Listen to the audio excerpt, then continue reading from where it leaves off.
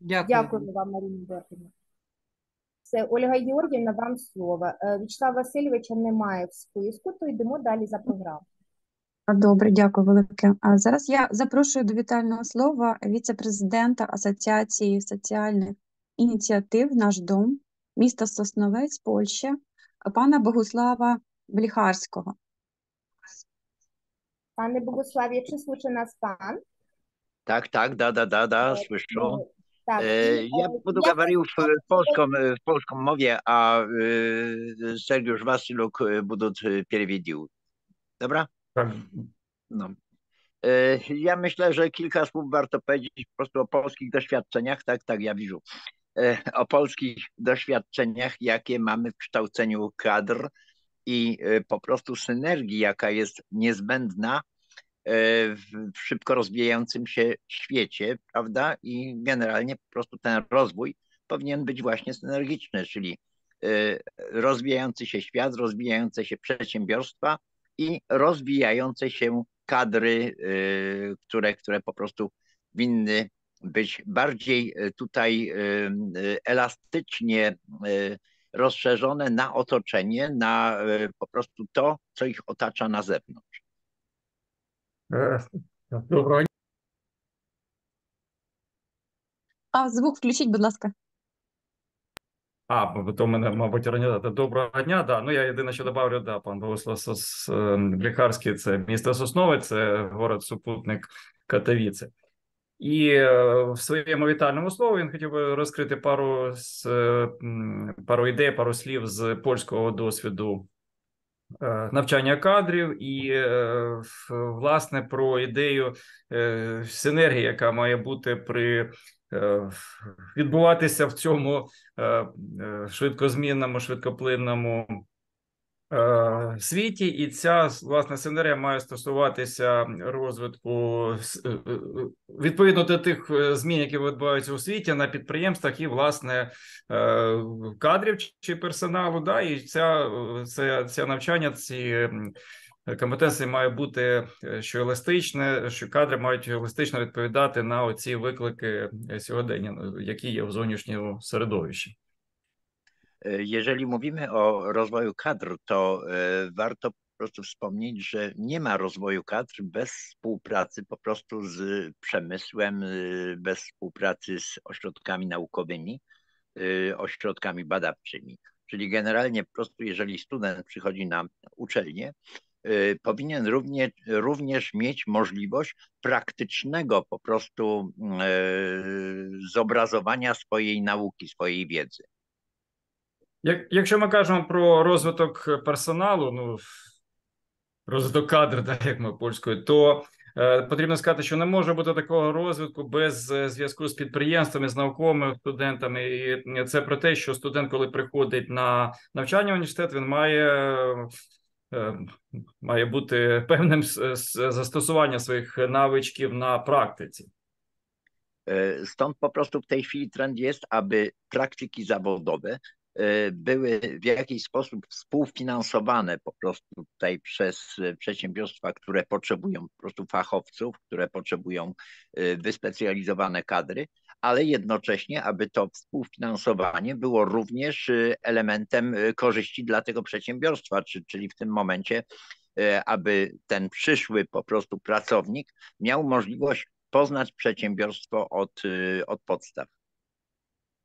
Е, Ну і е, коли ми кажемо про розвиток кадрів, то е, сучаснішнім трендом є те, щоб ці практики, як же вони виробничі, да, по, по, по нашим документам, да, вони були співфінансувалися власне підприємства, але з іншого боку, вони були б і корисні самому підприємству, е, щоб вони приносили користь самому підприємству. А з зі боку студента, щоб він мав е, можливість проаналізувати, дізнатися про діяльність цього підприємства від самих е, основ, від його початку.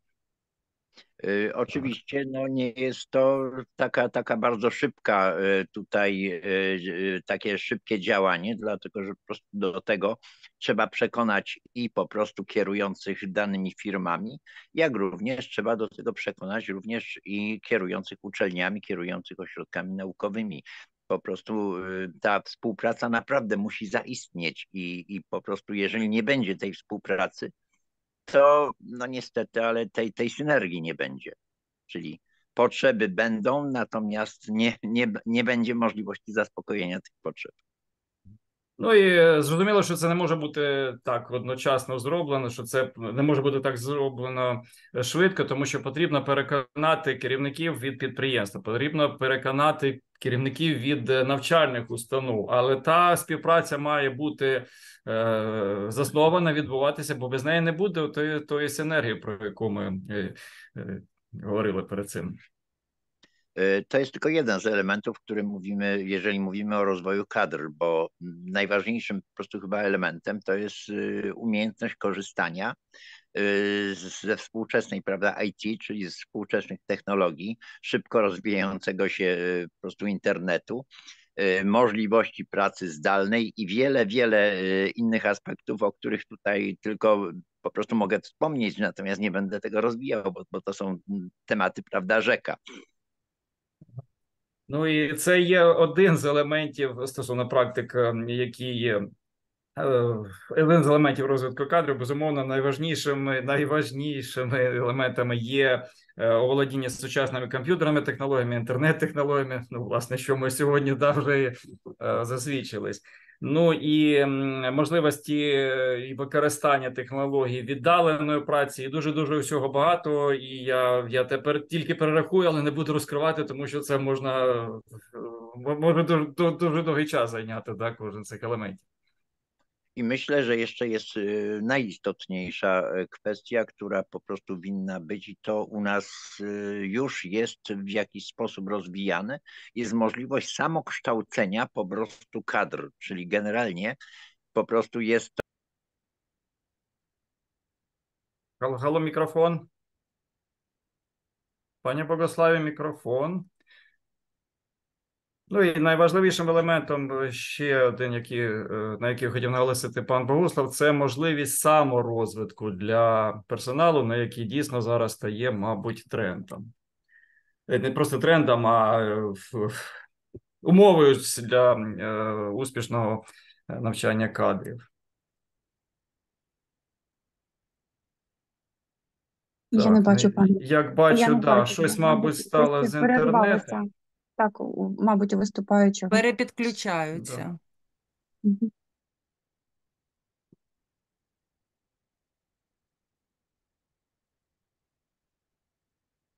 Ну, власне, трошки, якщо є хвилинка, можу представити, що пан Богуслав як- активно сприяв і сприяє ем, співпраці між університетами України, Польщі, власне, Харкова, Катовіце, ну і взагалі співпраця між містами Сосновець, який супутник е, Катовіце, ну і Дергачі, які є е, ну, рядом з Харковом, практично.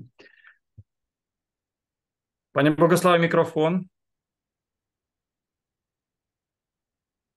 Już Окей, так.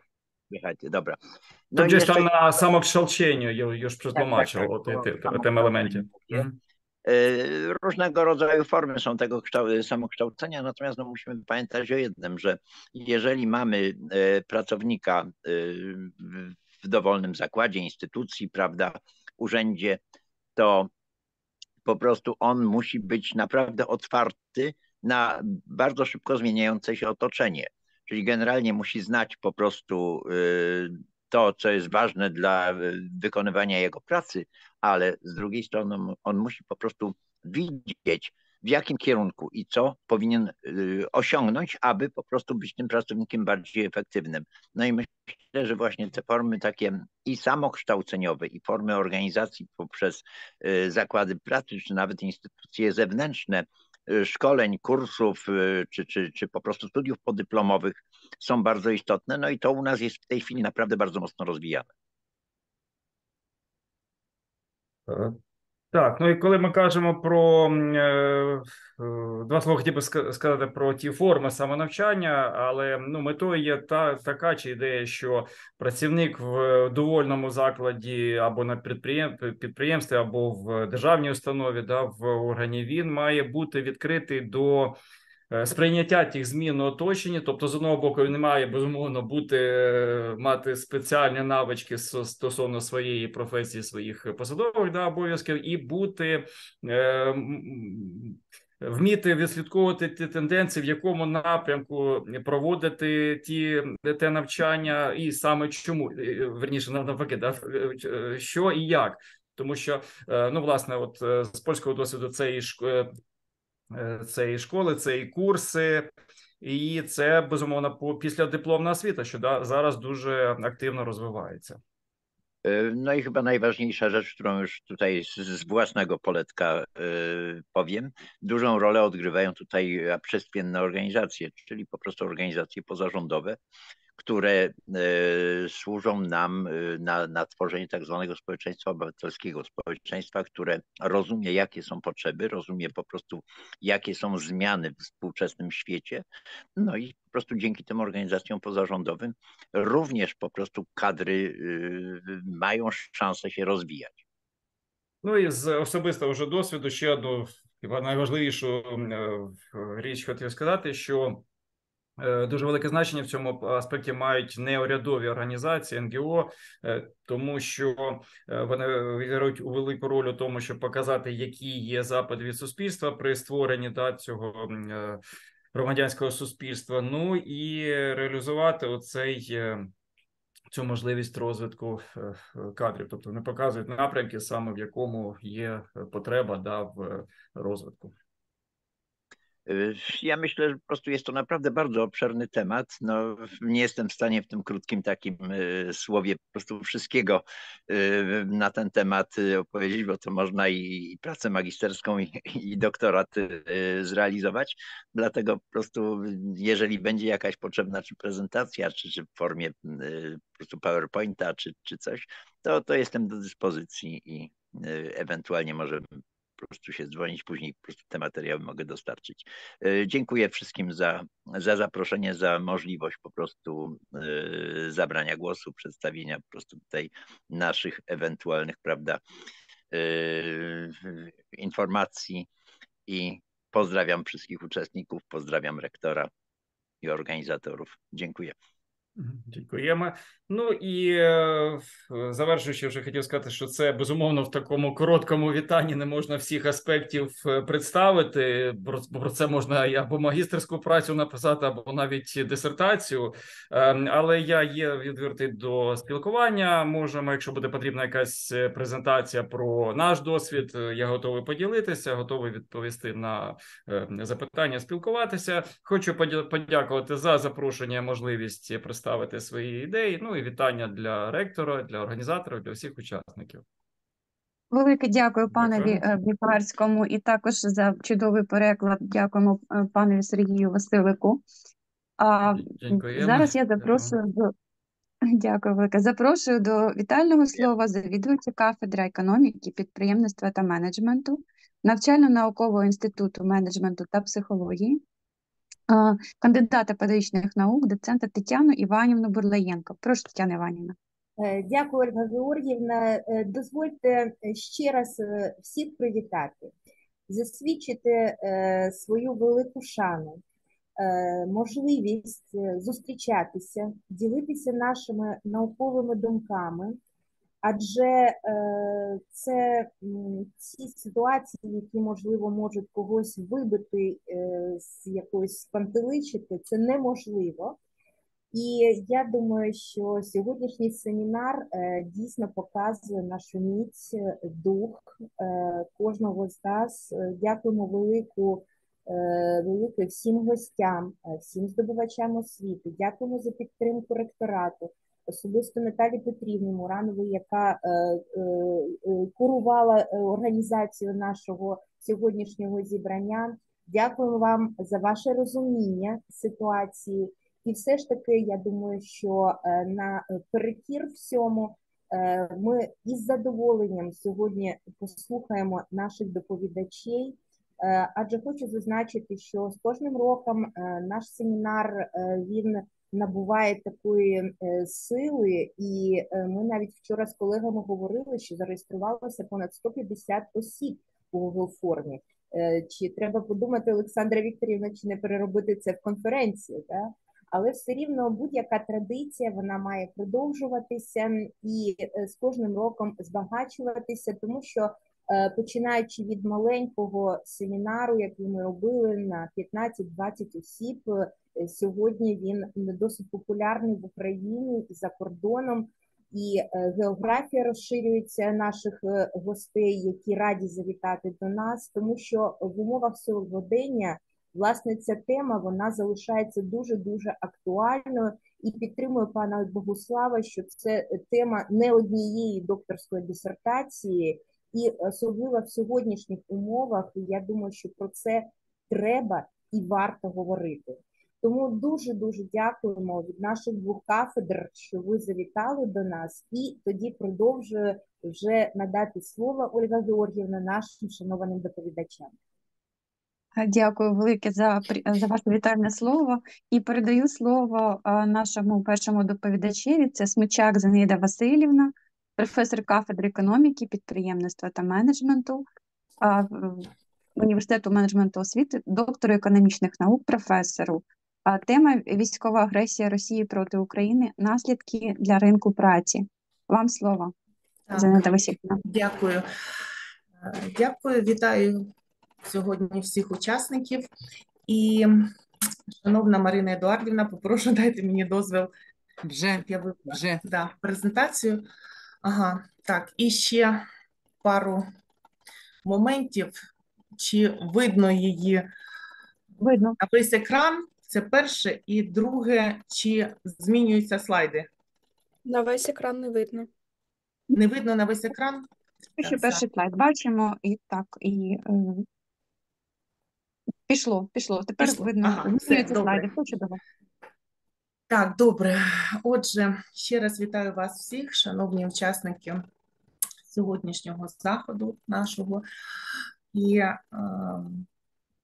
тема семінару пов'язана з підготовкою конкурентоспроможних фахівців, і тому я хочу звернути вашу увагу саме на ті наслідки для ринку праці, які ми маємо після повномасштабного вторгнення Росії в нашу країну. І одним із таких найвідчутніших негативних наслідків кризи, яка була спричинена війною, є саме втрата працездатного населення. Е, Нагадаю, що саме населення е, це є е, ключовим фактором власне існування держави. І е, варто зазначити, що навіть в мирний час порахувати українців було непросто. От е, повноцінний перепис населення в нашій країні, нагадаю, проводили лише один раз у 2001 році. І на той час от він показав, що тоді проживало всі 48,5 мільйонів осіб. Відтоді населення ніхто не рахував, і можна сказати, що з часом неточності в демографічних показниках вони лише збільшувались, а дані Державної служби статистики ставали ну, дедалі менш релевантними. Крім того, після 2001 року в Україні була, пам'ятаємо, маятникова міграція. Та, от коли люди їздили на заробітки за кордон, а потім повертались в Україну. Ну, з часом така трудова міграція вона переростала в постійну, Тож частина людей вони просто залишились за кордоном, але згідно з обліком, от вважається, що вони є наразі в Україні.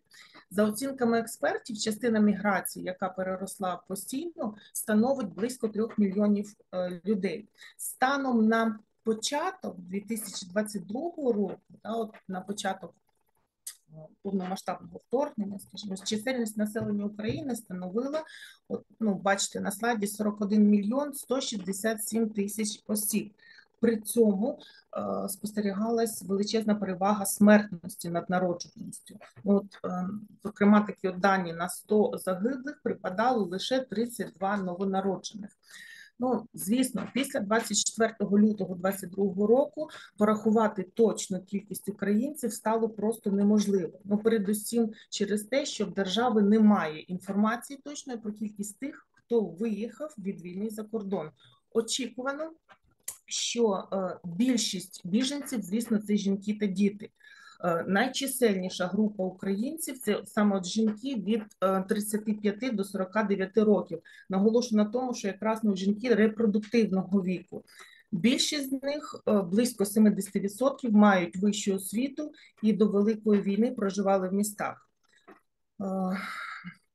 Звісно, ну за багатьма дослідженнями, частина українських біженців, які наразі перебувають за кордоном, вони налаштовані повернутися додому. Але цей показник неоднорідний. Ну, звісно, менш схильні повертатися здобувачі освіти і люди, які активно шукають роботу. Більш схильні люди з високим доходом і старшого віку.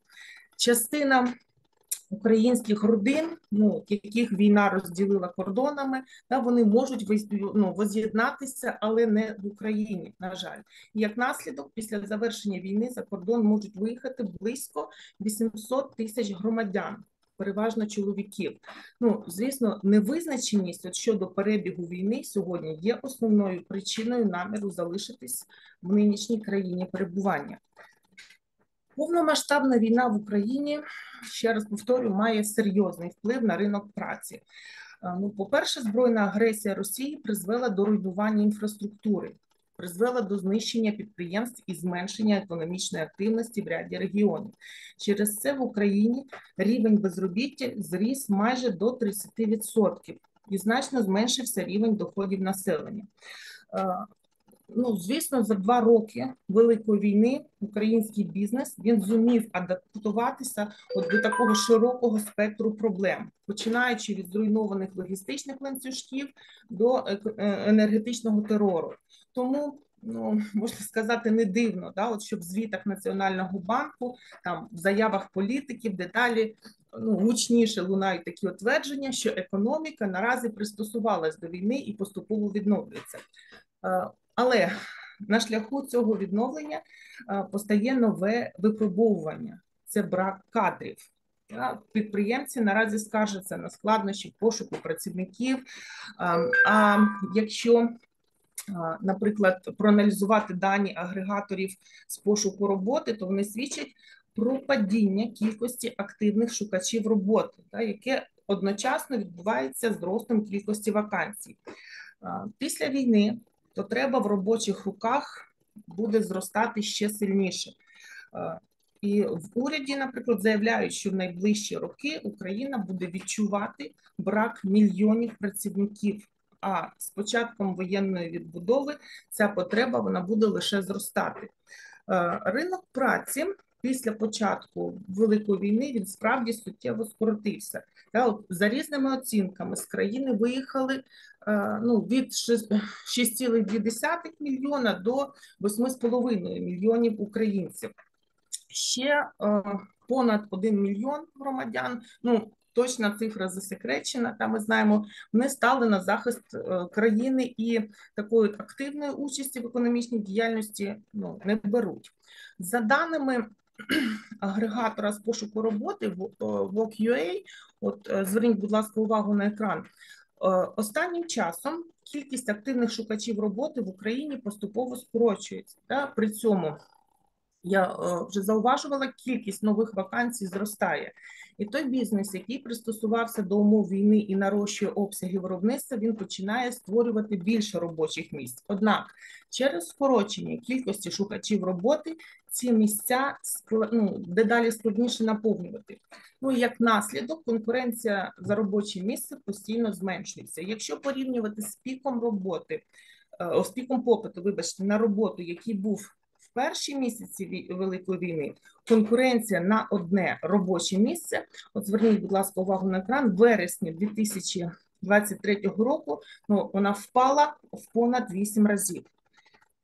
Найбільше нових вакансій з'являється в західних областях. Ну, наприклад, в Закарпатській їх кількість е, от вересень 23-го року кількість більша, вдвічі більша, ніж напередодні Великої війни. Крім того, е, в Україні суттєво змінилась і структура економіки. Чимало компаній, які до лютого 2022 року працевлаштували десятки тисяч українців. Вони зараз або не працюють, або перебувають на тимчасово окупованій території. Ну або їх об'єкти просто зруйновані. Це, звісно, створило диспропорцію на ринку праці. Навички та спеціалізація людей вони просто не відповідають е, потребам компаній, які працюють. Хоча загальна ситуація може також свідчити ну, е, про дефіцит робочої сили, а е, в деяких галузях от, е, спостерігається профіцит кадрів навпаки. Ну, іншими словами, потреби знову ж таки роботодавців не збігаються з освітою і навичками потенційних працівників. Через це в деяких сферах, ну які виявились менш стійкими до війни, потреба в кадрах скорочується, тому людям з відповідними навичками складніше знайти там роботу. Ну також про таку от неоднорідність ситуації на ринку праці і свідчить і опитування бізнесу, які періодично проводить Національний банк. Та от там от виявили, що мінімально збільшувати кількість працівників будуть лише торгові підприємства, тоді як е, ті компанії, які працюють в промисловості, там в сфері послуг, вони навпаки хочуть скорочувати працівників. Е, Ну, в будівельній галузі кількість працівників не зміниться. Е, Ну, знову ж таки, серед основних таких от причин дефіциту кадрів це те, що сотні тисяч українців вони були мобілізовані на захист держави. А мільйони, я вже зауважувала, вони змушені виїхати за кордон да, або стали внутрішньо переміщеними особами. Е, В Міністерстві економіки та заявляють, що така ситуація наразі вона є найбільшою міграційною кризою з часів Другої світової війни. Е, Ну, варто відмітити, що такі от демографічні показники в Україні вони значною мірою залежать від того, скільки ще буде тривати війна. Е, Чим довше триватиме війна в Україні, звісно, тим значно збільшується вірогідність того, е, що українські жінки, які виїхали е, з дітьми, вони не будуть поспішати повертатися додому після завершення війни. Ну, звісно, це все вплине кардинально, вплине на демографічну ситуацію в майбутньому. Ну, взагалі, війна вона заважає, та, нагадаємо, роботі демографів, оскільки частина земель України вона окупована, і тому там е, досить важко вести реєстрацію і народжуваності, і смертності. Да? Окрім того, ну, величезна знову ж таки кількість біженців, їх теж важко рахувати.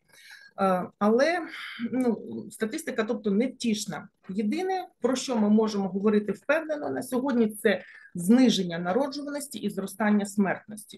Е, Ну, взагалі, така ситуація е, щодо депопуляції в нашій країні, вона ж знову ж таки вона не почалась вчора. Це вже триває близько 60 років. Нагадаємо, це майже 60-х років минулого століття. І, взагалі, от якщо говорити про народжуваність, ну будемо відверті, люди е, в більшості випадків підходять е, ну, свідомо до народження дитини. Взагалі, демографи ну, прогнозують, що до 2037 року у нас може залишитись 30 мільйонів. Ну, хоча ситуація вона може змінитися в більший бік в разі міграційного припливу. Е, Ну, хочу наголосити, от, що демографічна криза це насамперед ну, не криза народжуваності, да? це криза поповнення трудових ресурсів, оскільки саме а, за рахунок трудових ресурсів живе держава, а їх зменшення да, призводить до складнощів з наповнюванням бюджету. Тож ну, не відкрию такий секрет. Ще однією важливою складовою формування майбутнього ринку праці е, і, і системи трудових відносин взагалі от є переїзд мільйонів наших співвітчизників на відносно безпечні території. Та передовсім це західні області нашої країни. Е, Зазначимо, що ці райони вони завжди були, були такими трудонадлишковими. Та? Там перманентно не вистачало робочих місць. Тепер туди приїхала шалена маса людей, та, яким потрібна робота. 750 е, релокованих підприємств ну це просто крапля в морі. Та до того ж, знову ж таки нагадаю, вони переїхали значною мірою зі своїм штатом. Ну, от принаймні основних працівників, як правило, вони вивезли, та? а лише там технічних, допоміжних вони можуть брати на місці. Е, А люди які довго залишаються без роботи, е, наголошую на тому, вони втрачають, ну вони просто втрачають звичку працювати. Так? І людину, яка ну зауважимо, що людину, яка не працює понад рік, треба буде наново вчити тим же самим відносинам в колективі, та, е, трудової поведінки, ну, взагалі, от елементарних навичок е, суспільних комунікацій. Щодо демографічного майбутнього, да, так от скажімо, зверну вашу увагу. В звіті Європейської комісії, який називається Ukrainians Population Future After the Russian Invasion, тобто ну, майбутнє українського суспільства після російського вторгнення, розглянути. Так от в цьому звіті розглянуто чотири сценарії. Та? Зверніть, будь ласка, увагу на екран. Чотири сценарії, які враховують от вплив і міжнародного переміщення, спричиненого війною, а також можливі довгострокові тенденції в чисельності населення і міграції.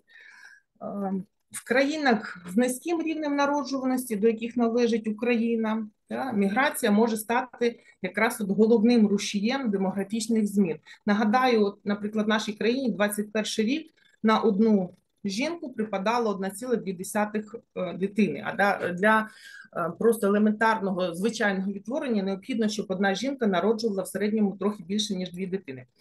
Ем, Очікується, звісно, що найбільший вплив на майбутні міграційні процеси будуть чинити два фактори: це економічний розвиток, який буде сприяти зменшенню такої економічної нерівності, ну а також багатосторонні угоди і співпраця між країнами. Так от, чотири варіанти вони описують діапазон такого от можливого майбутнього, та? від песимістичного сценарію з затягуванням війни і повільним економічним відновленням до, скажімо, такого оптимістичного сценарію, коли війна швидко завершиться і буде активне післявоєнне відновлення, яке принесе е, довгострокову соціальну і політичну стабільність і економічне зростання. Так от, буквально по пару слів за кожний сценарій. Та, от сценарій перший, ви бачите, довготривала е, війна і низький рівень повернення. Ну, як я вже говорила, цей сценарій такий є найбільш песимістичний. Він передбачає тривалу інтенсивну війну з можливим зростанням кількості мігрантів міжнародних, низьким рівнем повернення. Навіть в повоєнний період, звісно, це все буде гальмувати економічне відновлення і відбудову України, враховуючи той факт, я вже говорила, що значна частка біженців це жінки і діти. Якщо вони закріпляться в країні перебування, ну висока ймовірність, що по завершенню до них приєднаються чоловіки. Другий сценарій коротка війна і постійна еміграція. Передбачається, що за такого сценарію більшість українських біженців повернуться протягом наступного десятиліття. Однак, після завершення війни на фоні такого повільного економічного відновлення рівень повернення біженців буде залишатись низьким, а відтік населення за кордон з метою постійного проживання високим. Третій сценарій коротка війна та циклічна міграція. Як і в попередньому варіанті, більшість українських біженців повернуться протягом наступного десятиліття, а економічне відновлення буде повільним. Однак післявоєнна міграція буде характеризуватись високою часткою ну, циркулярної, да, такої тимчасової міграції з високими показниками повернення біженців на батьківщину. Ну і четвертий та коротка війна та міграційний перехід. Е, Багато європейських країн здійснили міграційний перехід ну, от, е, від країни донора населення та робочої сили до країни реципієнта. Ну, от в цьому сенсі варто згадати, наприклад, 50-ті роки, коли приймаючими країнами стали Франція, хто там ще Швейцарія, Бельгія, Німеччина. На початку 21 століття майже всі країни Західної і Південної Європи вони зареєстрували більше випадків імміграції, ніж міграції. Ну, сьогодні це відбувається в низці країн Східної Європи. От, Польща, Чехія, Угорщина вони здійснили міграційний перехід протягом двох десятиліть після приєднання до Європейського Союзу. І швидке економічне відновлення після воєнний період може стати передумовою для того, щоб Україна пішла їхнім шляхом. За найбільш оптимістичного сценарію Україна що швидко відновлюється і переживає економічне зростання саме завдяки потужній підтримці міжнародних партнерів.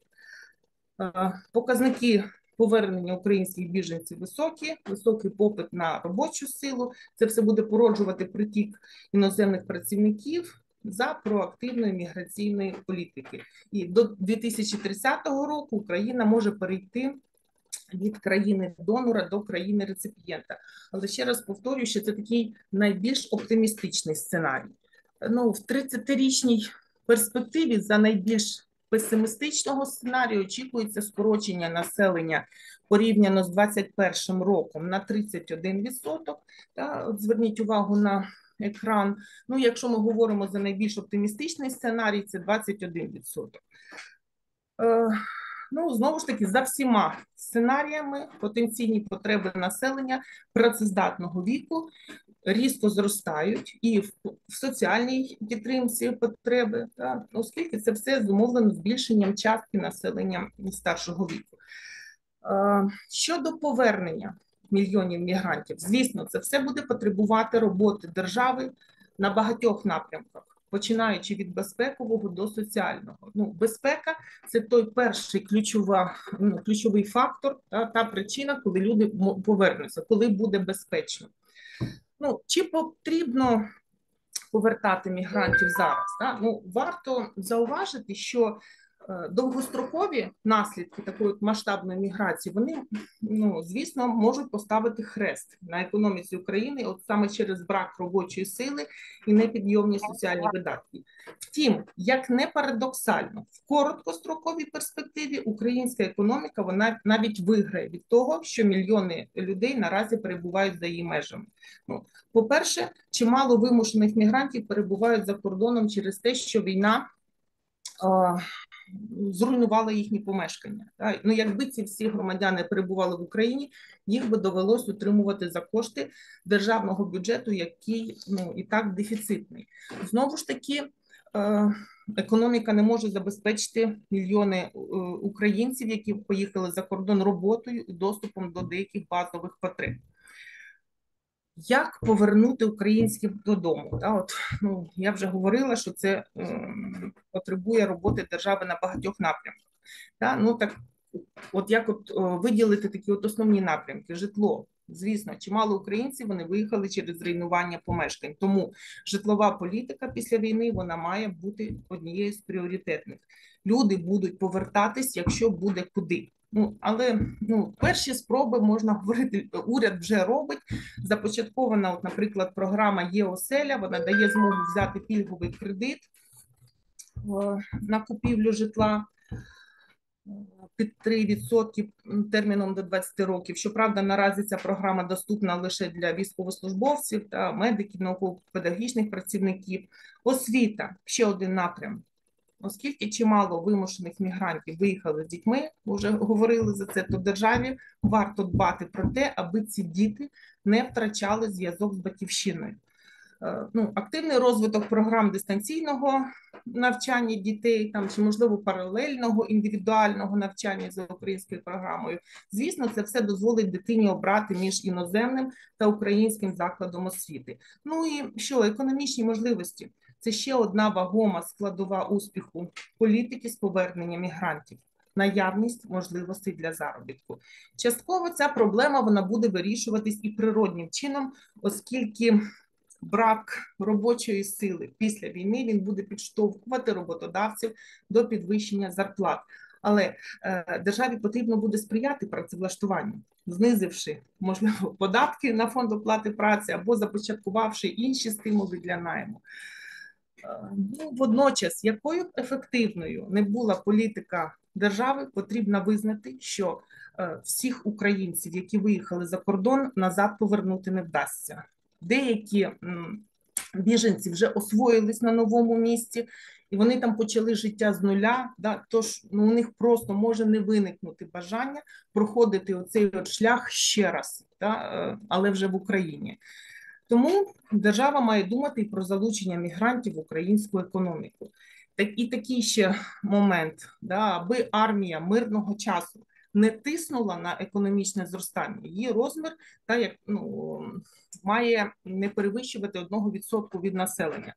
Ну і оскільки навіть після перемоги Росія нікуди не дінеться, то нам просто потрібно зберігати армію от на рівні там ну 500-700 тисяч осіб. Да? Тому це означає, що нас мусить бути ну щонайменше 50 мільйонів. І залучення мігрантів з інших країн буде потребувати не лише економічних реформ, але й і терпимості українців. Ну мені здається, цього країні вже, вже зараз варто вчитися жителів Європейського Союзу. А я вам дякую за увагу, шановні колеги. Дякую за таку змістовну доповідь, пані Смичак. Будь ласка, якщо є питання, прошу задавати доповідачеві. Е, Ольга Георгіївна, можна я задам і пан Сергій Васильович теж підняв. Так, будь ласка, так, прошу Тетяна Іванівна. Знаєте, Василівна, дякуємо. Дуже цікаво, дуже змістовно. Е, Можливо, моє запитання не дуже коректне. Е, Ви в своєму виступі говорили, що прогнози е, 30 мільйонів, да? але е, ми всі пам'ятаємо, як, наприклад, в Києві були такі бігборди, де було написано, що у нас 45 мільйонів і так далі. Я е, не можу згадати, але я, чула, що начебто сьогодні нас 28 мільйонів.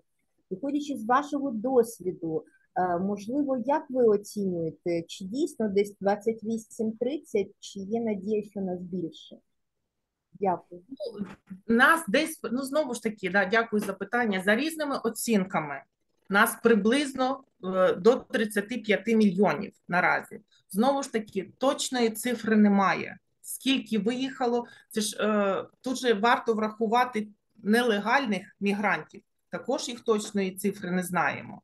Досить важко. І е, ще раз наголошу, що такий повноцінний перепис, який має проводитись кожні 10 років в країні, у нас він проводився скільки? 23 роки назад. Це повноцінний. Тому якби це орієнтовні дані. А є е, скільки, ну знову ж таки, е, скільки наших е, співвітчизників, ті, які залишились і не повернулись в Україну до повномасштабного вторгнення, та які були ну, мігрант, трудовими мігрантами, вони, вони там залишились, а вони рахуються, наприклад, у нас за даними. Да? Там прописані навіть ще е, е, ну, в Україні. Тому ну, якби за різними, ще раз повторюю, от за різними оцінками за кордоном від 6, е, 6,2 до майже до 9 мільйонів нас. Майже 3 мільйони залишились ті, які були за війною. Ну, якби орієнтовні, от, близько 35 мільйонів нас. А нас Дякую. Знову Дякую. орієнтовно. Дякую. А, Пане Василик, е, вам слово Да, вашого мене запитання. коментар. Ну, власне, це не запитання, це е, репліка від е, пана Богуслава, тому що може ідея, як можна ці Мгм. теж е, застосувати. Він пошкодував, що не запросили, ну вже пізно, бо є там Вікторія Булгакова, вона зараз в Дергачах, і вона якраз працює в Міністерстві цифровізації України, є координатором дія бізнес в Варшаві. Тобто в Варшаві Мгм. є е, дія бізнес. Більше того, завдяки пану Богуславу він теж приймав участь, щоб відкрили представництво в Катовіцях. Ну бо Катовійська агломерація там більше трьох мільйонів. І це і саме один з напрямків. Вони е, шукають модель розвитку е, персоналу для. Актуальна модель розвитку персоналу за грані за, за кордоном, ну і зокрема в Польщі, тому що ну напевно е, е, найбільше, мабуть, мігрантів зараз в Польщі, да, наших або вимушених переселенців, і приготування їх до можливого повернення і рес- реструктуризації підприємств вже після завершення воєнних дій. Тобто дія бізнес, от ще як напрям, бо ну я думаю, це так не дуже ще відомо. Тобто, така вже є, є ще така можливість е, вирішити да, цю, е, цю проблему. Да. І підготувати людей, як, як не втра, щоб вони не втратили свої навички, знаходячись за кордоном, і підготувати до повернення, коли тут вже буде безпечно. Dziękuję. Jeżeli można, dwa słowa. Y, no, po Proszę. prostu jeszcze uzupełnienia.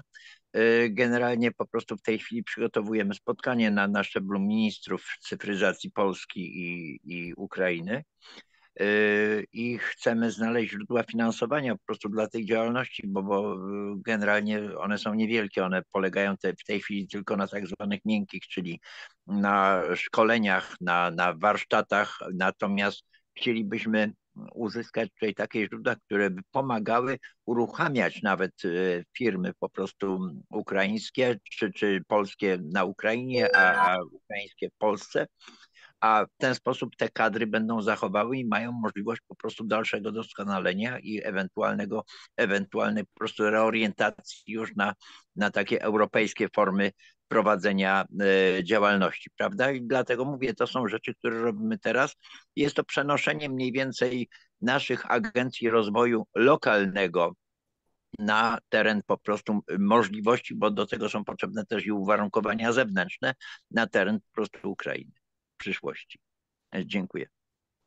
No, ja no o tym nie mówiłem wcześniej. Aha, е, та, бо це ну, е, ще додаток до того, що в е, вітальному слові, да, пан Бослав говорив, власне, про і про роль е, е, неурядових організацій, що якраз зараз готується така зустріч між міністрами цифровізації Польщі і України, і ну, власне, е, мова йде про пошук е, джерел фінансування, тому що зараз воно є невеликим, воно стосується ну якихось може курсів, якихось е, ем, ну як підвищення кваліфікації, ну скоріш курси, да, якісь майстер-класи, можливо. А мова йде навіть про залучення фірм, як українських в Польщі, так і в Польщі польських в Україні, перенесення діяльності агенції місцевого розвитку, ну власне, яку представляє пан Богуслав, на е, ну навіть на те на простір український, да, щоб е, в Україні, да, щоб щоб реалізувати ці е, цю можливість розвитку персоналу.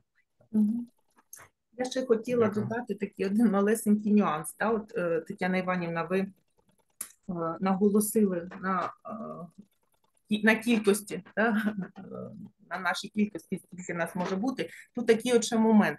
Наприклад, е, е, за кордоном, скільки наших українців, та, от те, що я говорила, досить важко е, обрахувати, оскільки е, не всі, наприклад, е, зареєструвалися за кордоном, та, і не всі там отримують допомогу.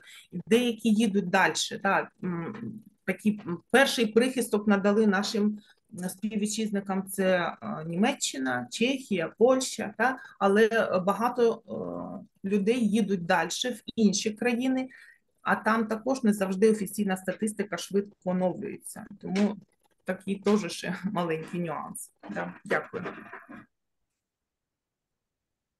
А, Дякую велике. Я зараз запрошую до слова нашого наступного доповідача Бондар Оксану Степанівну, доктора педагогічних наук, професора кафедри педагогіки та менеджменту освіти Тернопільського національного педагогічного університету імені Володимира Гнатюка.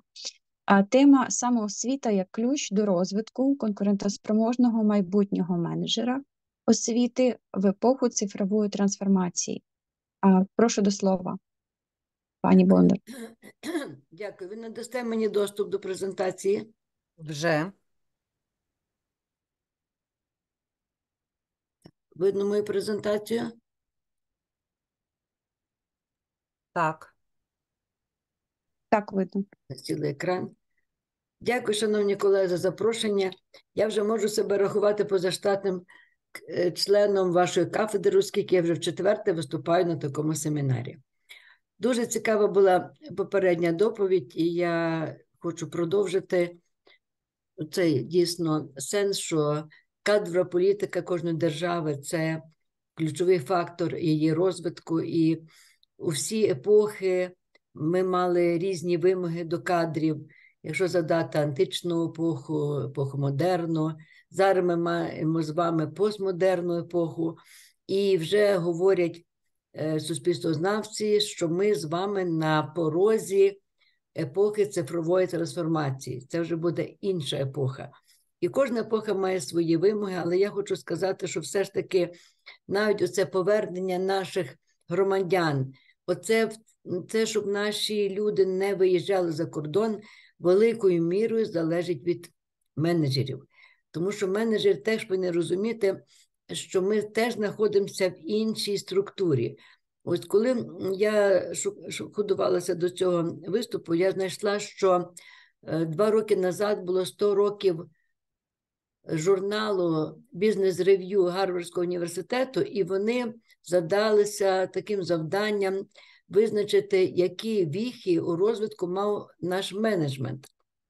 І одна норвезька дослідниця визначила три такі віхи. Перше, він каже, це був командно-адміністративний менеджмент, ми його знаємо. Він був в Радянському Союзі, в якій ми, ми жили. Другий менеджмент називався експертний. Ми пам'ятаємо з 90-х років, коли появилася атестація, експертиза стала таким пріоритетним інструментом. І зараз, в епоху цифровізації, вони, говорять про те, що ми зараз з вами знаходимося в іншому менеджменті. Це менеджмент називається ціннісно орієнтованої емпатії. Тобто, наскільки менеджер зможе розуміти своїх співробітників, якщо менеджер зуміє знаходити, робити таку атмосферу довіри, будувати відносини, від цього буде залежати, чи схоче людина залишатися у нашій країні. Тому, е, безумовно, хочу назвати про те, що е, в різні епохи є свої детермінанти, але ми розуміємо, що самосвіта завжди була головним таким е, конкурентним інструментом розвитку. Тому що ми знаємо, що Ілон Маск не більшість, те, що він вчив, він вчив самостійно. Ми знаємо, що Білл Гейтс так само вивчив самостійно. Я, е, в мене є окрема така лекція, де я розповідаю про те, як скільки відомих людей шляхом самосвіти здобули великі визнання. Навіть виявляється, Сумська вона вивчає зі всіх країн е, оце е, театральні рухи, театральні дії, і потім сама собі перед зеркалом значить, репетує, значить, робить репетицію. То, тобто, якщо ми говоримо про е, розвиток, то ми безумовно маємо говорити про е, самоосвіту. От, ну, детермінантами є це зміна технологій, глобалізація, цифрова трансформація, зміна способу комунікації, еконебезпека, мережева культура. Але ще такий дуже цікавий такий момент, кажуть науковці, що всі епохи були пов'язані зі стисненням е, часу і простору. І зараз в епоху трансформації ми особливо відчуваємо цей стиск, тому що все стало близьким, але і час настав так само мінімізований. І от коли ми говоримо про епоху цифровізації, це дуже багато є. Я на слайді тут написала е, тих характеристик. І е, одна з е, таких, е, мені здається, от, е, питання, я перепрошую, не, не гортається презентація. Я перепрошую. зараз я ще раз вийду і зайду.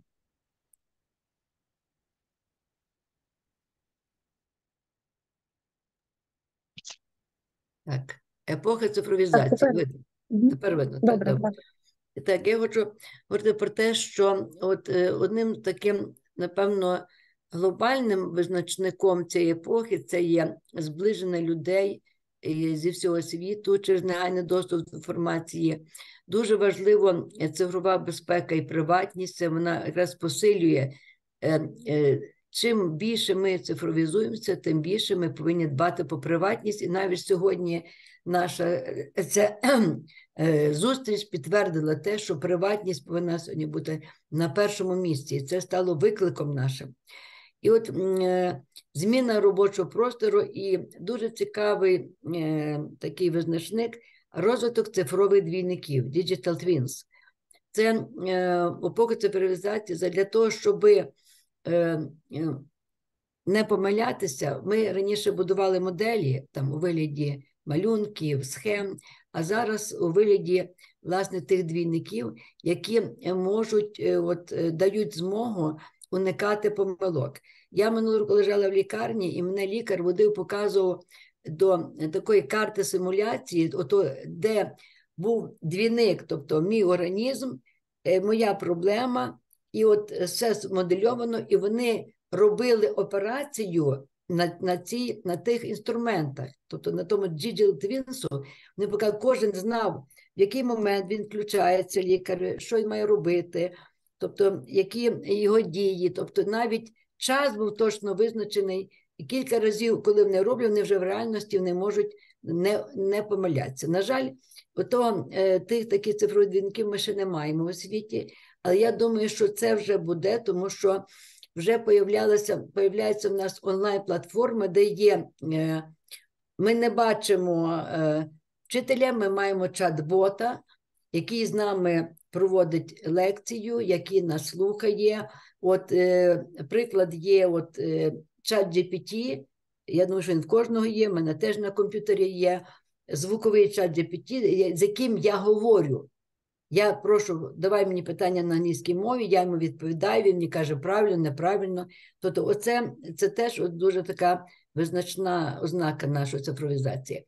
Цифрова трансформація це поняття пов'язане з тим, що цифровізація буде проникати у всі галузі. Не буде жодної галузі, де би ми не могли використати. І от в цьому плані ви бачите, що зараз е, ніби атака на вищу освіту, так нам здається, нас хочуть оптимізувати, об'єднати, скорочувати, але це наше майбутнє. Ми від цього не відійдемо, оскільки цифрова трансформація передбачає запровадження тих двійників, тобто вчителів, ботів, які от будуть вчити. Ви сьогодні знаєте, є е, е, цей платформа Корсера, де ви можете здобути спеціальність, і цей диплом Корсери він визнається в Європі. Е, Можливості трансформації дуже важливі. Я вже говорила про те, що е, можна робити різні курси, але хочу наголосити на етику і відповідальності в цифровому світі. Е, Як от, е, зарубіжні вчені Вудвок і Френсіс вважають, що менеджмент вимагає наявності керівника таких умінь. Дуже тут бачите на слайді багато перечислено, я теж не буду все читати, але хочу звернути увагу, що ще тоді вони говорили про те, що дуже важливо постійне особисті зростання. Оце основний елемент менеджера. Тобто не можна переставати вчитися. Ми живемо в епоху самонавчання, і, от, власне, уміння управляти це перш за все уміння самому навчатися і бути прикладом. Крім цього, там е, латинський менеджмент, я там знайшла одну публікацію, там ну, виписала, що в них є теж дуже цікаві такі компоненти. І цей п'ятикутник це особистий менеджмент, управління діями. Виявляється, що це окрема сфера, дійсно управляти окремими діями. Компетенції з управління навколишнім середовищем. Ми, до речі, якщо ми говоримо про менеджмент, в нас мені здається, що якраз тут є найбільше проблем. Ми ще не маємо такої сфери досліджень з управління навколишнього середовища. Міжособистісний менеджмент це в нас комунікаційний менеджмент. Він розвинутий в нас і в Україні розвинений, і управління впливом. Це теж якраз це управління впливом. Я думаю, що латиноамериканці побачили ймовірний розвиток менеджменту. Це якраз стосується нашої епохи, епохи е, ціннісно орієнтованої емпатії. Е, Велика проблема сьогодні у знаннях, як кажуть науковці, що не, проблема не в знанні, проблема в імітації знань. І от ми знаємо таке поняття ефект Даніела Крюгера, коли менш компетентні люди вважають себе дуже великими професіоналами, а більш компетентні завжди сумніваються. І чим нижчий рівень компетентності, тим вища впевненість. І Чан Дамін казав, що невігластво частіше породжує впевненість, ніж знання. І ми це бачимо в багатьох структурах, на жаль, особливо в державних. До нас попадають люди, які не мають компетентності, але зато впевненість у них зашкалює. І це дуже шкодить. Тому, коли ми говоримо про е, коли ми готуємо наших менеджерів, я е, працюю в майстратурі, де ми підготуємо менеджерів освіти, і я завжди говорю про те, що е, саморозвиток неможливий без е, багатьох нових компонентів. Вже які би ми не мали моделі менеджерів, вони постійно оновлюються, доповнюються. І я думаю, що одним з таких компонентів це є. Е, От ми, якщо людина має високий рівень компетентності, і особливо е, soft skill розвинені, вона має можливість покращити своє здоров'я, тому що вона буде розуміти, як можна вивчити. Сьогодні дуже багато різних методик для здоров'я є. Е, Є різні мотива- мотиваційні інструменти. Вона буде генерувати ідеї. Людина, яка буде компетентна, буде вміти користуватися інструментами цифровізації. І е, основне планувати особисте життя і бути щасливим. Бо теж менеджер не має права не бути щасливим, тому що він зірець, на нього дивляться, інші е, персонал дивиться на менеджера, і якщо він буде щасливий, то персонал буде щасливий. Постмодерні критерії конкурентного менеджера це безумовно розуміння мультикультурного світу. Ми вже не можемо цікавитися тільки Україною. Ми мусимо розуміти світ, ми маємо цікавитися з подіями в кожній країні. І, власне, ця глобалізація приводить до того, що е, привела до того, що в нас стираються грані е, національні. Тому що ви бачите, як от, е, стало так, що в Україні українська кухня стала такою е, пріоритетною, культовою, хоча вона мала би бути завжди. Але я пам'ятаю, де мене при Івано-Франківськ, там в області гуляємо по Карпатам, і кажу, в нас українська кухня. Тобто, це вже як ну, мене навіть і радує те, що ми нарешті позбулися тих піц, не, не тішимося карбонарою, а тішимося українською кухнею. Е, Дуже важлива критерій конкурентного це робастість. Тобто робастість це є здатність до самовідновлення. Самосвіта фахівця це як вища форма пізнавальної активності, про це казав Васильченко. Вона потребує надзвичайно великої сили волі, е, планування, критичного мислення, розуміння релятивізму знань, може дійсно всі знання відносні, вони не бувають е, вічні. Компенсація знань людині потрібна на кожному етапі життя і немає універсальних знань. Оскільки самосвіта надзвичайно складне явище, я написала, скільки вона включає тих елементів: самооцінка, самооблік, самовизначення, самоорганізація, самореалізація, самокритичність, самоконтроль, самовиховання, саморозвиток це все результат самосвіти. Е, е, Безумовно, що критерії здатності до самосвіту, саморозвитку умовах цифровізації трошки інші. Перш за все, ми маємо бачити свої недоліки, прогалини. Ми повинні вміти аналізувати причини невдач у власній діяльності, бути гнучким до нових знань і швидко володіти знаннями, швидко шукати інформацію, критично оцінювати теорію, вміти аналізувати. Тобто, по суті, ми маємо стати аналітиками і експертами власного життя. Е, Стимулювати себе за успіхи, активно вивчати несподівані для себе області знань, оскільки ті попередня доповідачка говорила про те, що дуже багато після війни нам потреба буде в нових професіях. Тому я завжди менеджерам кажу своїм студентам: е, вчіться в'язати, шити, е, вчіть, вивчайте кулінарну справу, вчіть іноземні мови. Тому людина не може сьогодні бути унікальна, тільки знаючи якийсь один обсяг знань. Треба багато знати, тому що це все в житті нам пригодиться. І от е, Отут е, форми підготовки, що ми використовуємо для цього, для от, власне самосвіти, для того, щоб нашого менеджера зробити дійсно конкурентним. Перш за все, штучний е, інтелект. Не треба боятися, я була на кількох курсах штучного інтелекту. Ми довгий час е, скриваємо, що ми користуємося ним, але нам прямо всі ті спікери, які вели, вони казали, ні, треба його використовувати, треба дітей привчати до нього, треба вміти з ним працювати, треба шукати. Тобто він е, має бути не для е, плагіату, а для пошуку ідей, для розмови. І е, я вам скажу чесно, я вже рік маю е, цей штучний інтелект. Я його цей чат GPT, але я на платній основі і всім рекомендую на платній основі, тому що це є безпечно платна основа, і він дійсно видає гарні ідеї, і можна багато чого покращити своє життя. Наприклад, я готую лекцію. Я собі можу там план замовити, можу пошукати, я можу написати там, знайди мені літературу іноземною мовою на тему конкуренції, і він шукає. Тобто, це, це наше життя. Мало того, зараз у нас в університеті е, економічному є е, буде спеціальність власне роботи з штучним інтелектом. І зараз багато програмістів потребують тих, які вміють працювати з штучним інтелектом. Ви думаєте, що це просто задати питання? Ні, він не видасть вам ніколи доброї відповіді. І я е, магістрам своїм показую, даю їм завдання, вони бачать, скільки разів. е, Чому він не дає погані відповіді? Що ми даємо погані завдання. Власне, сформулювати ціль, мету це теж велике. Цифрове менторство.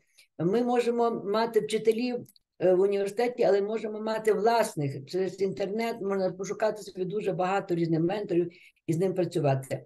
От цифрові капсули часу. Ми будували з магістрами. Е, Це ну як е, каріограму, але власне в цифрових капсулах це робили. І от дуже цікавий факт, що коли ми читали, розкривали ті капсули часу, е, одна з майстранток написала, що не хоче мати кав'ярню у Львові. І я кажу: дивіться, і багато цікаво, е, найбільше мені було образливо те, що з наших магістрів ніхто не вибрав, що він хоче бути менеджером у світі. Всі написали, хочуть бізнес, е, хочуть е, йти в it сферу хочуть якісь, значить, отримати якусь фірму відкрити. І ось я кажу: давайте, якщо ви хочете бізнес, давайте ми відкриємо в дії. Оце, що сьогодні згадували, бізнес-дія. Давайте я вам покажу, як писати бізнес-план, і попробуйте, і вся група е, задала, поставила бізнес-план дії, і лише одна виграла 250 тисяч, і вона зараз у Львові відкрила кав'ярню, і ми збираємося цілу групу їхати до неї, щоб вона виграла ті гроші. Правда, це не так багато, але там єдиний момент дуже хороший, що ці гроші треба віддати за три роки у вигляді податків. Е, Гейміфікація. Ми знаємо, що всі люди бавитися, тренінги. Це дуже е, спонукає і наших студентів, і педагогів, і дорослих людей до пошуку. Віртуальні обміни з діловими лідерами. Я запрошую на свої лекції професора Краківського університету. Я е, цей Ченсуховий запрошую. Е, Мій син, ем, який зараз працює в Стокгольмі, теж підключався до моїх студентів. Тобто вміти, от власне, показувати треба часто людей, які досягли успіху. Тому що ми так багато маємо негативу навколо, що треба шукати в тому морі, в тому болоті злості, негативу, власне, ось стрімкі оазиси, доброти, радості, щастя. І моделювання е, фірми за критеріями ми теж робимо. Дуже цікавий найпроводила такий тренінг в Краківському університеті. Надзвичайно цікавий, тому що якраз можна використати цифрові інструменти, е, можна задати чат GPT, зробити значить, е, е, цей бренд фірми, можна задати йому якісь там е, знайти якісь ті кредо, девізи, намалювати, намалювати якийсь там ну, кейс, зробити і так далі. І цифрові інноваційні лабораторії, ми це все бачимо. Сьогодні я дуже тішилася, що у вас є Сорочан зробила віртуальну кафедру, і я приєдналася до її оці, ото, віку щастя, до цієї лабораторії. Це все наше майбутнє. І як ми залучаємо до самосвіти, звичайно, треба виступи на конференціях, е, участь. Я маю керую дослідницьким офісом менеджер освіти. У мене всі студенти, всі майстранти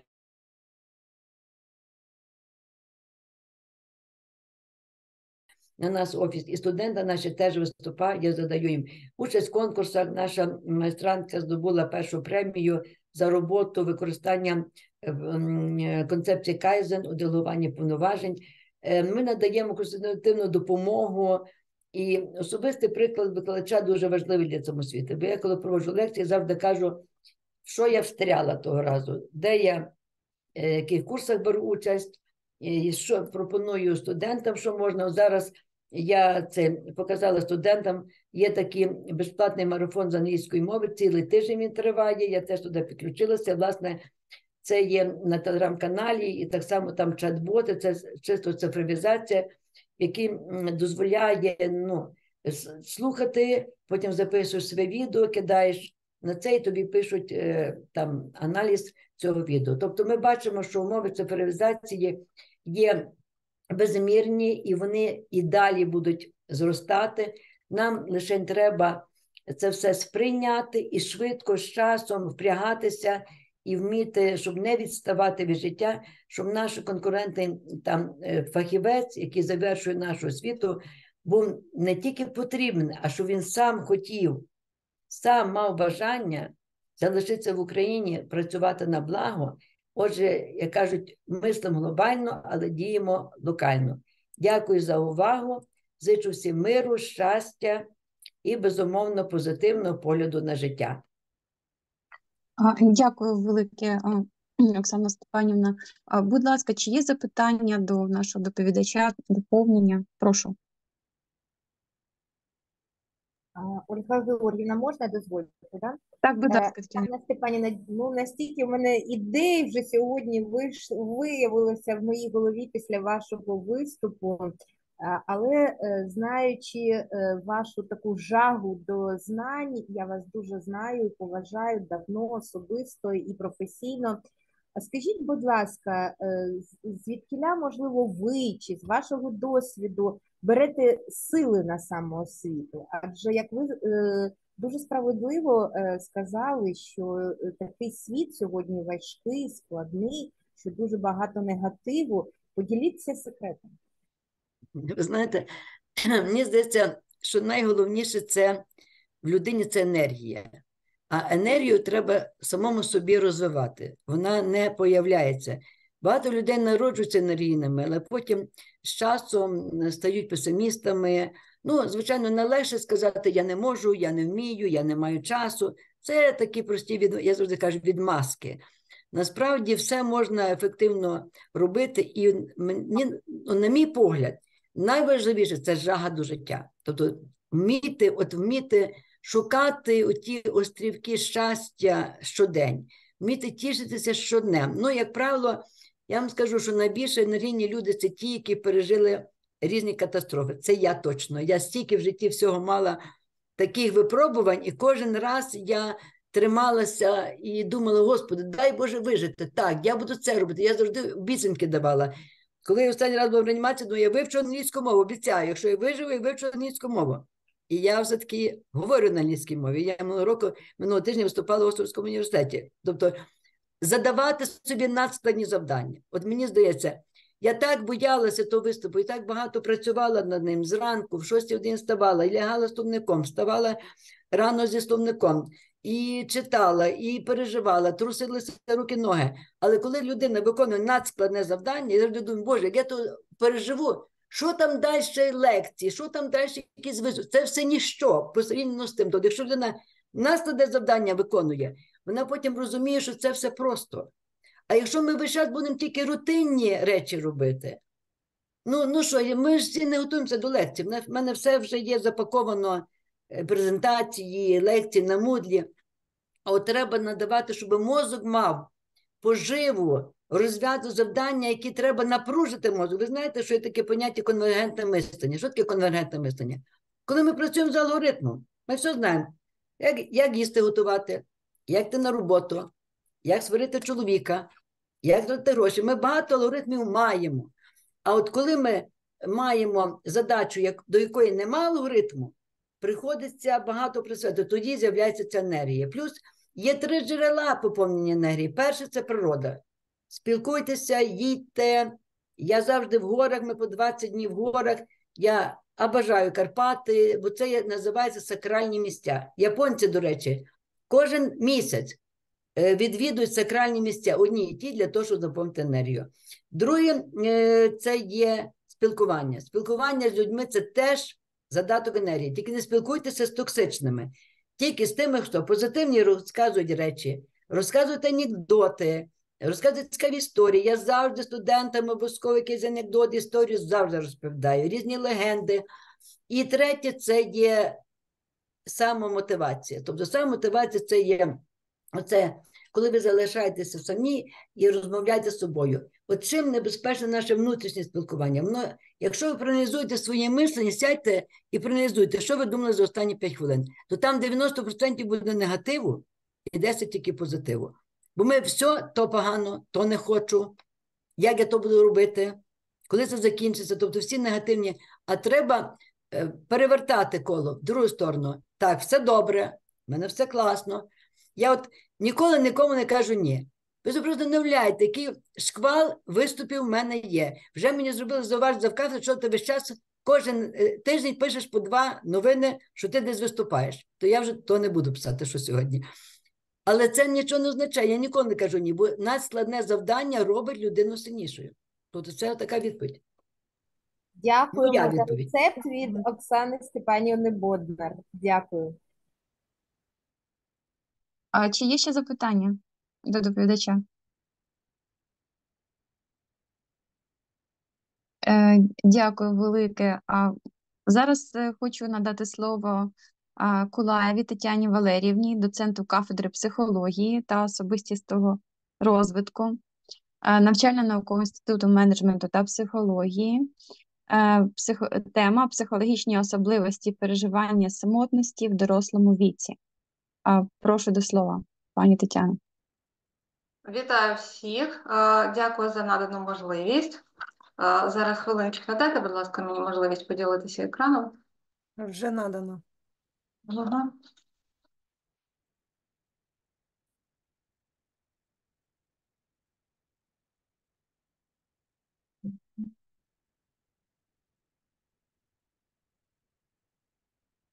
Так. Так, шановні колеги, дозвольте представити вам наше дисертаційне дослідження за темою психологічні особливості переживання самотності в дорослому віці. Они видят? Так, так.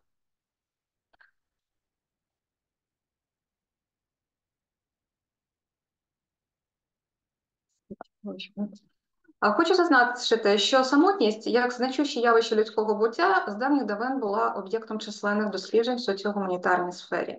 Зазвичай цей феномен вивчали, виходячи з принципу дефіцитарності, і розглядали самотність як таку, що є надзвичайно травмівною для особистості. Певною мірою цей підхід є актуальним і сьогодні, під час війни, коли а, через наймасштабнішу в новітній історії хвилю людського переселення проблема самотності в українському суспільстві набула особливої значущості.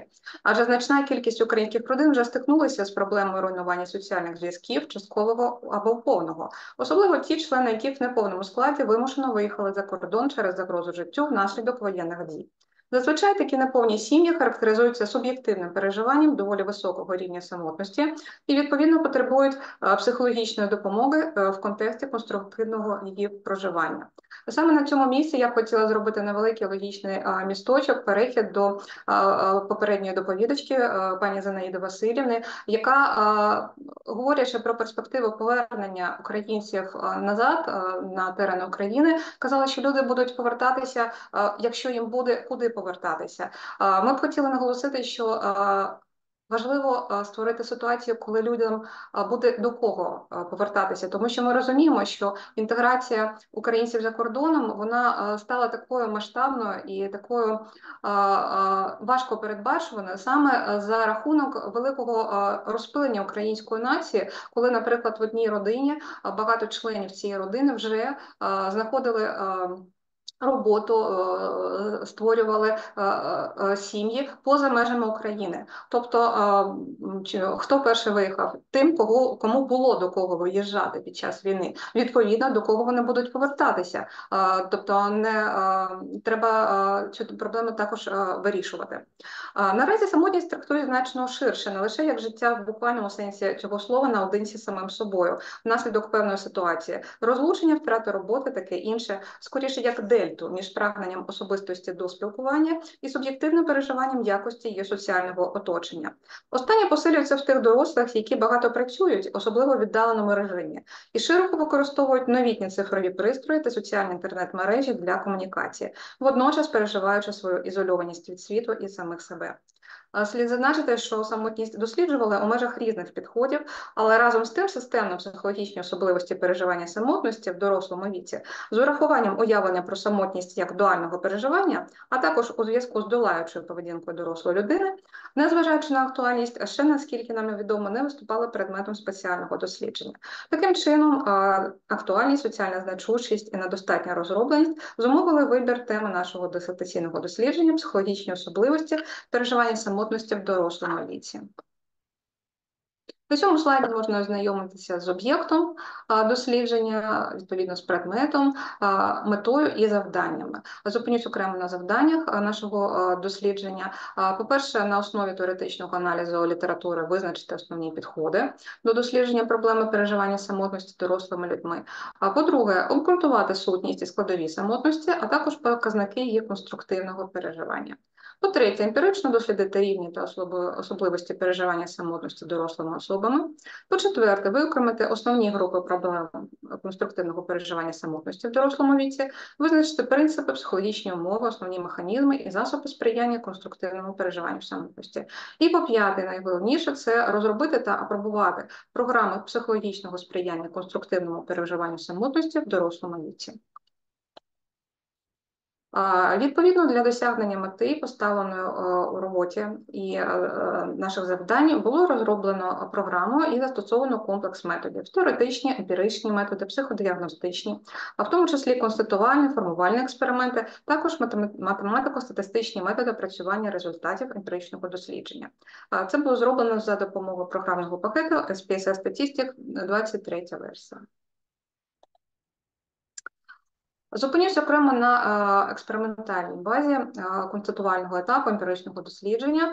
Е, Дякуючи допомозі ДЗВО університет менеджменту освіти, нам вдалося залучити 650 дорослих осіб з різних регіонів України. Насамперед, це здобувачі вищої освіти, слухачі курсів підвищення кваліфікації. Із них 150 осіб брали участь в адаптації окремих методик дослідження.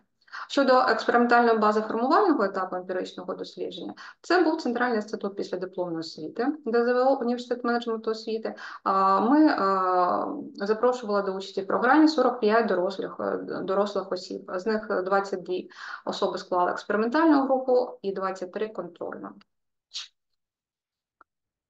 Е, Зупинюсь на е, виконанні нами е, першого завдання. Ну, е, За результатами теоретичного аналізу літератури було виокремлено основні теоретико-методологічні підходи до дослідження проблеми переживання самотності дорослими людьми.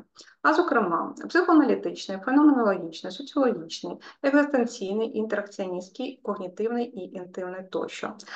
Саме за узагальненнями цими підходів нами було визначено самотність як комплексне особистісне переживання, що утворює дельту між прагненням особистості у спілкуванні та суб'єктивним переживанням якості її соціального оточення. Отже, окремо хочу зупинити, що це зовсім не означає, тобто самотність і усамітнення це а, ми е, е, відокремили ці поняття.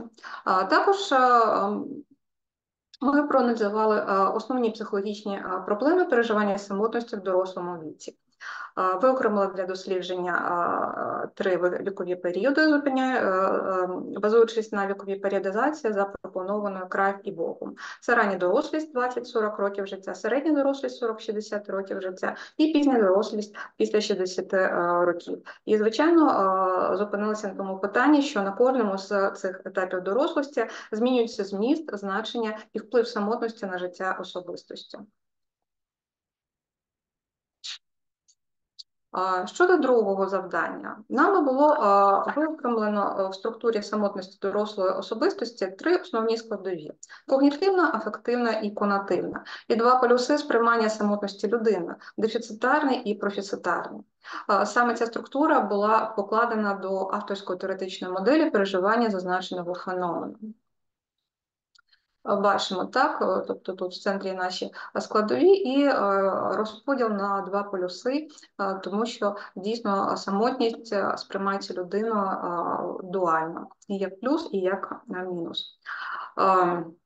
Зазначені складові було проаналізовано, описано їхні критерії. У когнітивній складовій критеріями стали усвідомлення, розуміння, тлумачення ситуації самотності, в ефективній складовій е, модальність почуттів і переживань ситуації самотності і почуття. В конативній складовій використання конструктивних копінг стратегій переживання самотності. Отже, щодо третього завдання, нами було дібрано та апробовано діагностичний комплекс визначення рівня конструктивного переживання самотності у дорослому віці та її складових із застосуванням методик дослідження в авторській адаптації. При цьому доведено нерівномірний розвиток рівнів складових переживання самотності. Найслабшими в структурі самотності є когнітивна та афективна складова, що можна подивитися на цьому слайді. За результатами кластерного аналізу також виявлено розподіл досліджуваних за загальними рівнями конструктивного переживання самотності, низький, нижчий за середній, середній, вищий за середній і високий. І констатовано, що третина досліджуваних продемонструвала низький та нижче за середній рівні.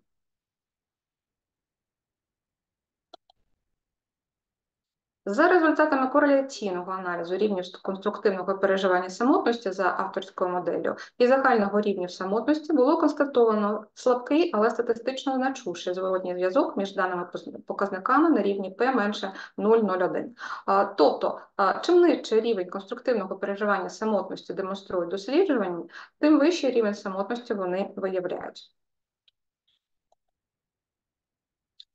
Згідно даних, встановлених за дисперсійним аналізом, виявлені гендерно-вікові та соціально-демографічні особливості переживання самотності дорослих осіб. Жінки в цілому відчувають себе більш самотніми, ніж чоловіки, причому з віком рівень самотності у жінок знижується. Хоча у віці від 20 до 40 років жінки демонструють зниження рівня, самотності, а чоловіки навпаки. Тут я хочу зробити маленьке зауваження, тому що на захисті окремо було поставлено питання щодо наших поглядів на таку тенденцію, чому саме у жінок відбувається значна зміна у рівні самотності протягом життя. Наша гіпотеза про те, що жінки в Україні традиційно сприймаються як берегиня, мати, і тому е, е, в період е, ранньої дорослості, коли жінка зорієнтована на створення власної родини і на народження дітей, вона дуже часто втрачає свій соціальний статус і йде з роботи, тому що або це її може ос- особистісні вибори, вибір іноді буває, а іноді до цього її підштовхують несприятливі життєві обставини, тому що все ж таки в Україні а, відповідальність за дітей вона скоріше жіноча, аніж чоловіча, саме на перших роках життя. Тобто у Декреті жінки вони дуже сильно потерпають від самотності, а саме від цієї дельти. Вони отримують. На противагу чоловіки не так часто і не так сильно змінюють свій, своє коло спілкування, коли вони стають батьками створенням родини, з народженням дітей. Пізніше, у міру зростання дітей, коли вони, так би мовити, залишають родинне гніздо, жінки знов повертаються і е, до активного соціального життя, вони е, повертають собі е, соціальне коло, яке вони формують, виходячи зі своїх власних вподобань. Тобто вони на саме на цьому е, життєвому етапі, коли е, діти стають дорослішими, жінки. е, Оточують себе, е, скажімо так, більш приємними їм а, для спілкування людьми, і відповідно знижується е, рівень е, самотності. Е, Також е, були виявлені соціально-демографічні особливості переживання самотності дорослих залежно від батьківської сім'ї, наявності дітей, та місця проживання. Е, Чоловіки, які зростали в неповних сім'ях, демонструють вищий рівень самотності, ніж чоловіки із повних сімей. На противагу жінки з повних батьківських сімей мають вищий рівень самотності, ніж жінки, які зростали у неповних сім'ях. Знов таки хотілося б зупинитися на цьому положенні трошки докладніше, як саме ми бачимо цю ситуацію, тому що знов таки тут має місце відповідний гендерний перехил, тому що діти в українських родинах при розлученні. Е, Залишаються у 90% е, із матір'ю. І е, пізніше одна з версій, чому саме чоловіки, які зростають у неповних сім'ях, демонструють вищий рівень самотності, ніж чоловіки з повних сімей, це скоріше за те, що вони менше мають можливість спілкуватися з особами своєї статі, і відповідно вони гірше формують особистісні зв'язки. На противагу жінки. Е, З неповних е, сімей е, вони у дівчат, які зростають в таких сім'ях, вони раніше дорослішають, і їхнє коло спілкування дуже рідко обмежується колом батьківської сім'ї, тобто що ця родина неповна. І відповідно вони легше встановлюють соціальні зв'язки, вони ліпше розкриваються, тобто їхній у більш дорослому віці рівень самотності він відповідно нижчий. Щодо місця проживання, то рівень самотності чоловіків практично не змінюється або змінюється не сильно, в залежності від того, у місті або селі проживає даний чоловік. Натомість жінки, які проживають, у місті, значно більше відчувають самотність, аніж жінки з села. За результатами кластерного аналізу даних було виявлено розподіл досліджуваних дорослих осіб на групи залежно від е, переважаючих стратегій долаючої поведінки. А, Гнучкий, уникаючий і соціально орієнтований типи за авторським визначенням. Причому при цьому констатовано наявність значної кількості дорослих, які не володіють конструктивними стратегіями долаючої поведінки, і встановлено безпосередній зв'язок переживання самотності дорослою людиною зі стратегіями долаючої поведінки. Тут я б хотіла зазначити, що згідно наших даних, найвищий рівень самотності притаманний жінкам з групи уникаючий тип. Уникаючого типу можна зазначити найбільш вживані копінг-стратегії, втеча уникання, дистанціювання і самоконтроль. Натомість найнижчий рівень самотності демонструють чоловіки та е, соціально орієнтованого типу з переважаючими стратегіями долаючої поведінки, планування вирішення проблеми, а також пошук соціальної підтримки. З урахуванням зазначеної групи основних проблем конструктивного переживання самотності дорослими людьми було розроблено і апробовано програму. Прошу, це трошки я. А, Так. А, Програму сприяння конструктивному переживанню самотності в дорослому віці. Вона складалася з трьох модулів, і хочу зупинитися щодо психодіагностичної частини цієї програми. У мене теж були питання на захисті, які саме психодіагностичні інструменти дослідження самотності можна порадити до застосування при наданні психологічної допомоги особам, що почуваються самотніми. Нами було розроблено і впроваджено для здобувачів вищої освіти, PhD і слухачів курсів підвищення кваліфікації в системі післядипломної освіти, авторський спецкурс, психологічна програма сприяння конструктивному переживанню самотності в дорослому віці. Е, На другому е, етапі психодіагностичному е, ми застосовували такі методики, як опитувальник Расела і Фергасона, шкала самотності у авторській модифікації, а також шкалу соціальної і емоційної самотності для дорослих селса Ді Томасо. Чому ці методики вони є е, логічно вибудованими, послідовними, е, загальновизнаним, е, так би мовити, науковим золотим стандартом для визначення проблеми самотності, мають доведену наукову цінність. Додатковим плюсом цих методик є їхня компактність і зручність у роботі. Жодного разу у учасників програми не було складностей із розумінням питань, із формулюванням відповідей. Тобто це дійсно ці методики, які ми можемо радити до застосування. Ем, Доведено е, ефективність, ефективність авторської програми сприяння конструктивному переживанню самотності в дорослому віці, і про це свідчить позитивна статистично значуща динаміка рівнів загального рівня конструктивного переживання самотності та її складових в учасників експериментальної групи на відміну від контрольної групи. Так. Ці слайди демонструють наукову новизну, теоретичне значення нашого дослідження, а це можна передивитися на сайті УМО. Дозвольте не озвучувати ці висновки. Так. І е, щодо перспектив, Е, здійснене дисертаційне дослідження не вичерпує всіх аспектів проблеми конструктивного переживання самотності в дорослому віці. Е, можна сказати, що подальші перспективи можна зазначити як поглиблений аналіз е, феномену самотності на предмет зв'язку між загальним рівнем самотності і елементами структури феномена, а також подальше вдосконалення і головне апробація та реалізація психологічних програм підтримки українців, які під час широкомасштабної війни втратили важливі соціальні зв'язки, а також змушені були змінити місце перебування та соціальне оточення, визначення і забезпечення відповідних умов психологічного супроводу дорослих із високим рівнем переживанням самотності.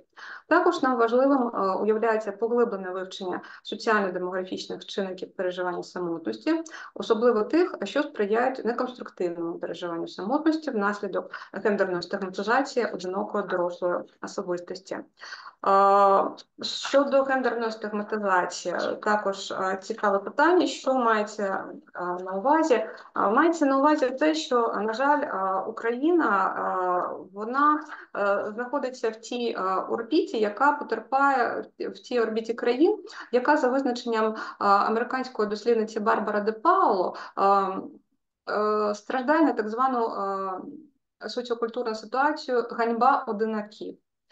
Тобто, це мається на увазі спроба суспільства нав'язати стандартний сценарій життя, які часто викликають в одиноких людей пригнічений настрій або депресію. І навіть ті, хто досі спокійно обходився без постійного супутника в романтичному житті, вони іноді бувають змушені, змушені так трошки прогнутися, робити те, чого насправді не хоче людина, аби відповідати цьому суспільному соціально-демографічного запиту, тобто вибудовувати своє особисте життя згідно соціально-культурних норм.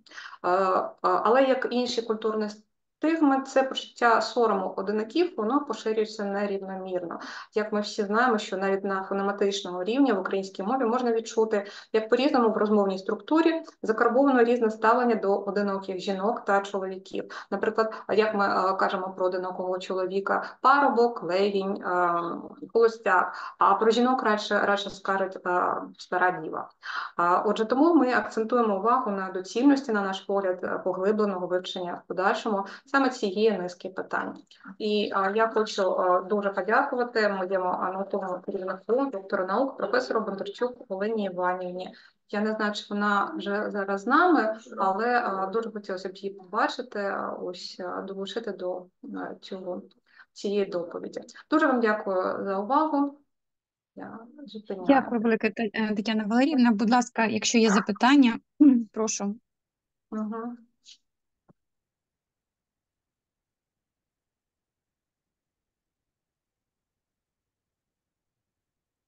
Так, немає запитань. Дякую ще раз е, доповідачеві.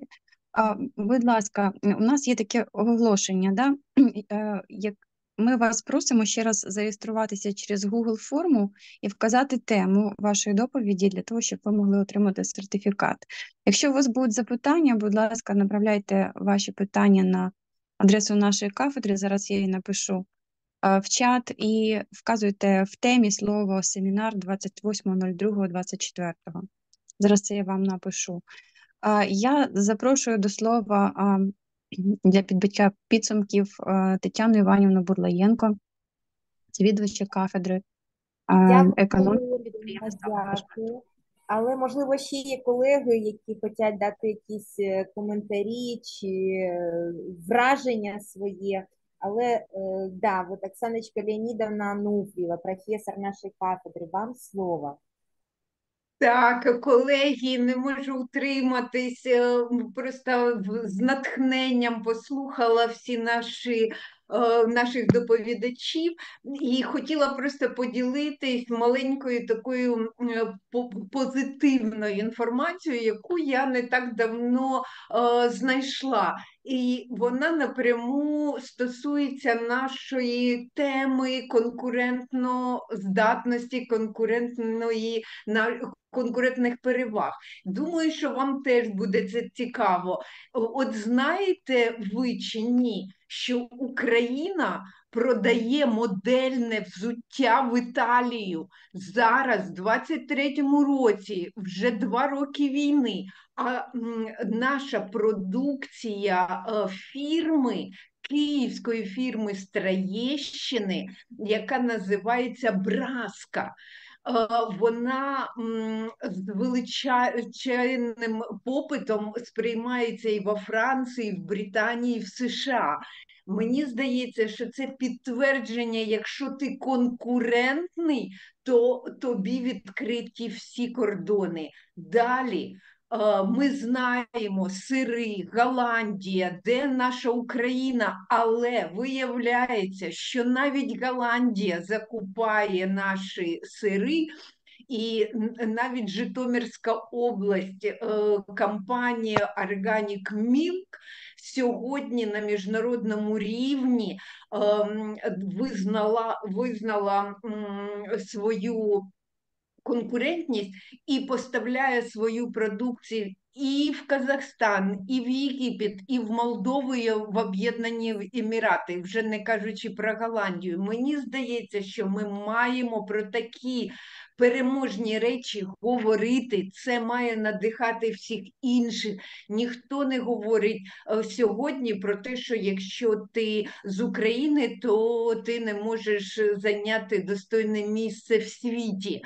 А, наприклад, мене здивувала елітні меблі українські, Новоград, Волинський, Житомирська область сьогодні скуповуються в Катарі, в Саудівській Аравії, в багатьох країнах Євросоюзу.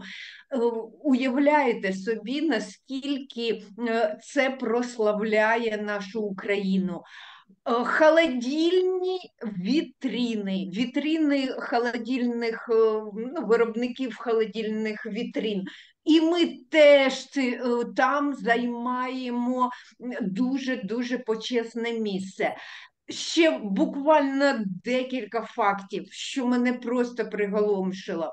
Вітрильні яхти з України.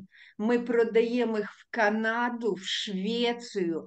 Ем, Це, мені здається, суперінформація. Причому ем, ця компанія з Херсона і Миколаєва, і вони і сьогодні під час війни е, з ре- але намагаються підтримувати свій е, рівень. Е, Я вже не кажу про сноуборди, які сьогодні наша компанія Мукачівська переконує світ, що ми здатні, і ще багато. е, Вже не кажу про мед, про олію, продукти харчування, it сфера. Колеги, нам є чим пишатись, головне знайти свою конкурентну перевагу, і тоді світ для тебе буде відкритий. От я хотіла на цьому наголосити. Дякую вам. Дякую велике. Пані Людмила Горохова ще просить слово. Будь ласка, вам слово. Вельми шановні колеги, знаєте, от і сьогоднішній день це наша з вами маленька перемога. Це є е, крок до перемоги, це є внесок у перемогу. Е, ну, ви організували захід. Захід дуже високого рівня. Я з такою зацікавленістю слухала всіх доповідачів. Я надихалася, я знов по-доброму дивувалася, і я знов розуміла, що нам є за що себе поважати. Ми єдині, ми працьовиті. І дивіться, от така знакова подія була. На нашу з вами зустріч зранку відбулася кібератака. Ну, я була у розпачі, чесно вам скажу. Але наскільки швидко ви змогли зробити іншу зустріч і забезпечити безперешкодний перебіг нашої зустрічі. Я пишаюся тим, що я є частиною викладацької спільноти. І я дуже дякую тим викладачам, які є членами нашої асоціації. Разом до перемоги. Слава Україні! Героям Дякую слава. велике. Дякуємо за Героям таку оцінку. Да. Ем, Ольга Георгіївна, ще є? Чи, чи я говорю вже? Як ви бачите? Можу я сказати, Тетяна Да, Іванівна? будь ласка, Олександра Вікторівна. Дякую вам. Ми з задоволенням сьогодні взяли участь в такому потужному заході. Були дуже цікаві доповіді. І я, е, коли просила Тетяну Валеріївну представити власні результати, в мене була далека така далека йдуча думка. У нас зараз дуже багато бакалаврів, магістрів готуються до захисту. А наші магістерські роботи, бакалаврські роботи, воно мало чим поступаються дисертація. І я дуже хотіла, щоб наші здобувачі побачили, як проводяться заходи, як готуються роботи, як представляються результати, і наскільки вони важливі і цікаві, в принципі, і для нашої науки, і для нашої життєдіяльності, і для нашого суспільства. Взагалі дуже класний захід. Дуже приємно, що ми бачимося з вами вже не перший рік. І я сподіваюся, що може Наталя Петрівна і права, наш семінар потихесенько переросте все ж таки на потужну конференцію. Дякую.